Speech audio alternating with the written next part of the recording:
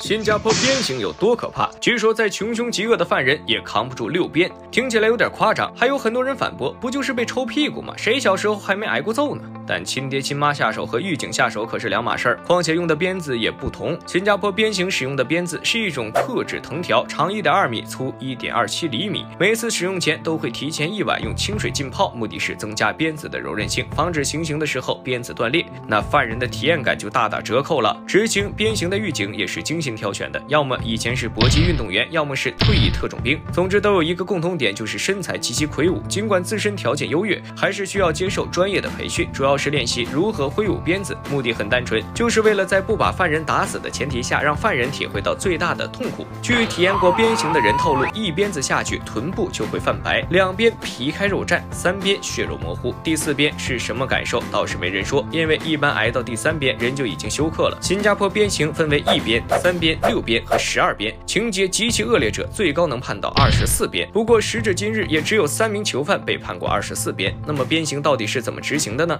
据说没有人能在新加坡的鞭刑下扛过六鞭，鞭刑到底是怎么执行的？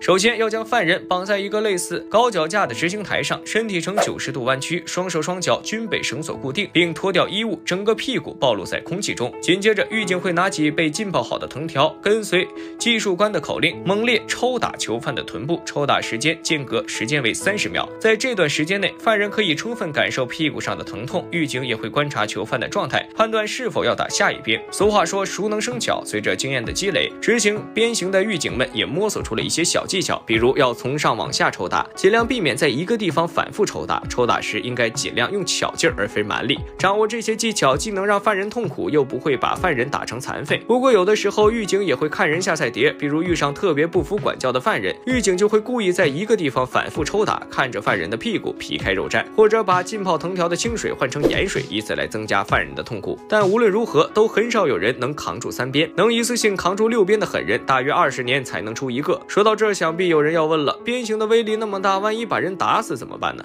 新加坡鞭刑有多恐怖？一边臀部泛白，两边屁股开花，三边直接血肉模糊。多数人都扛不住三鞭。既然威力如此之大，那些被判六鞭、十二鞭的囚犯怎么办？不会被打死吗？其实这一点不用担心，因为监狱想得非常周到。首先，执行鞭刑的犯人都是经过筛查的，只有十八岁到五十岁之间的健康男性才能被执行鞭刑，女性、老人皆被排除在外。监狱医生还会给犯人做全面体检，确定犯人没有高血压、糖尿病等疾病，才会给安排鞭刑。那些承受不不了鞭刑的犯人早就被筛选掉了。其次，执行鞭刑时会有医生和专业医疗设备全程监护。如果犯人的屁股开花太严重，鞭刑会暂时停止，犯人会被送到医护室救治，等到伤口完全愈合后再接着打。据一位新加坡狱警透露，他执行过的犯人中，大约百分之九十的人都只能承受两到三鞭。如果被判得多，剩下的则会分期执行。而如果犯人在受刑时晕死过去了，鞭刑也会停止。屁股开花不严重的，会等犯人清醒后继续执行；屁股开花严重的，就攒着下次再打。对于监狱来说，这么做是为了保全犯人的性命；而对于犯人来说，无疑是将痛苦拉得更长了。难怪都说鞭刑可怕。本期视频就到这里，我们下期再见。